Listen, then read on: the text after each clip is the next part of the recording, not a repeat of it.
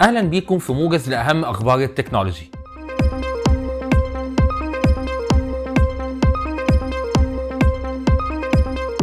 أحدث تسريبات عن الآيفون القادم واللي ممكن يبقى تحت اسم آيفون 13 بتقول إن أبل صغرت حجم مستشعر بصمة الوجه أو ال Face ID للنصف وده معناه إن ال notch هتصغر هي كمان على الأقل 30% في العرض وفي الطول. طيب فايدة ده إيه؟ ده هيدي مساحة أكبر للمحتوى المعروض على الشاشة ونتمنى كمان إن ده يكون ليه تأثير في إظهار بيانات أكتر بجانب ال notch زي مثلا نسبة البطارية. بدل ما بنضطر إننا ننزل لوحة التحكم علشان نعرف البطارية فيها كام في المية أيضا في تسريب إن شكل الكاميرا الخلفية في الآيفون 13 وال13 ميني هيكون زي الشكل اللي في الصورة وده طبعا مش هيكون ليه تأثير في أداء الكاميرا لكن ممكن يكون علشان أبل تفرق في التصميم بين الآيفون 13 والآيفون 12 برضه متوقع إن يكون في ميزتين هيكونوا متوفرين حصريا للآيفون 13 الأولى وهي ال ProMotion أو معدل تحديث الشاشة هيبقى 120 هرتز. الخاصية اللي اتأخرت على هواتف الآيفون وكمان خاصية ال always on display أو الشاشة الدائمة واللي برضه موجودة في هواتف الأندرويد من مدة. والخاصيتين دول بيعتمدوا على ال hardware مش ال software علشان كده هيكونوا حصريا للايفون 13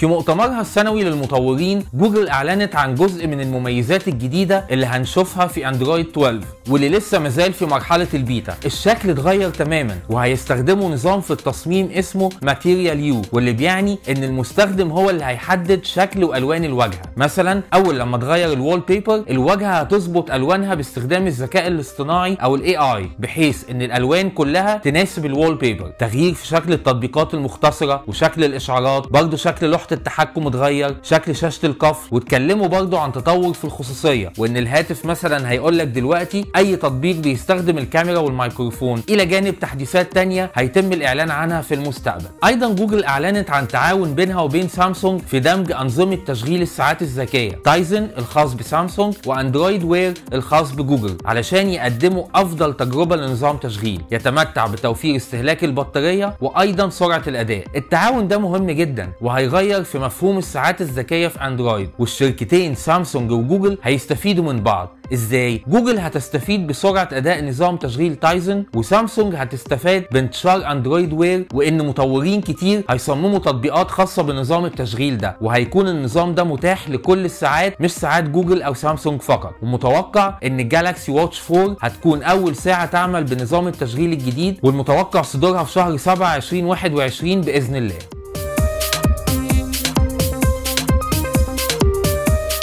جون بروسر بعد لما سرب شكل النسخة الجديدة لاندرويد 12 قبل الإعلان عنه قام بتسريب أيضا شكل هاتف جوجل بيكسل 6 وجوجل بيكسل 6 Pro. والحقيقة شكله غريب وساعات بحس إن شكله حلو وساعات تانية بحس إنه مش حلو بسبب تداخل الألوان الكتير. من الأمام الشاشة بتيجي بنظام ال punch hole display واللي أصبح أفضل شكل للشاشات دلوقتي. ومن الخلف الكاميرات بالعرض سواء كاميرتين للنسخة العادية أو ثلاثة لل Pro. عموما لسه بدري على موعد إطلاق الهاتف اللي بيكون غالبا في شهر 9 وهنشوف ساعتها هل التسريبات دي كانت صح ولا لأ.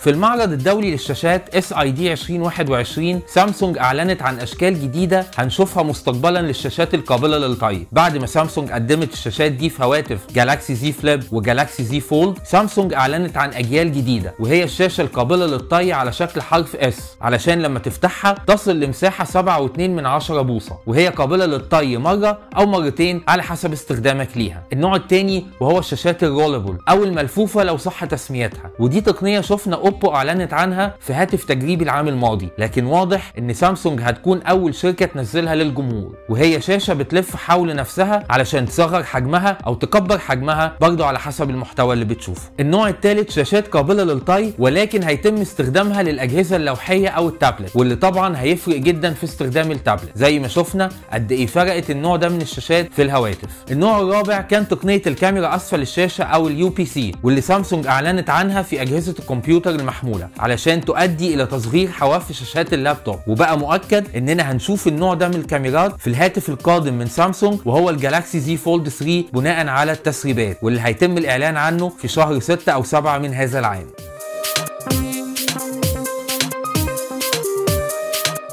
شارب أعلنت عن هاتف بمواصفات سوبر وهو هاتف شارب أكواس بشاشة 6.6 من 10 بوصة ومعدل تحديث للشاشة 240 هرتز بمعالج سناب دراجون 3 تمانيات وبطارية 5000 ملي أمبير وأكبر sensor موجود للكاميرا من لايكا ومستشعر بصمة تحت الشاشة بمساحة ضعف اللي موجودة في الهواتف وإمكانية استخدام بصمتين في نفس الوقت طبعا مقاوم للماء والأتربة و12 جيجا RAM DDR 5 الهاتف هيتم إطلاقه في شهر 6 القادم ولسه مش معروف السعر لكن هل نتوقع نجاحه؟ ده اللي هنشوفه. ما تنسوش تشتركوا في القناة علشان تتابعوا أهم أخبار التكنولوجي أول بأول. ولو الفيديو عجبكم ما تنسوش تعملوا لايك وشكرا.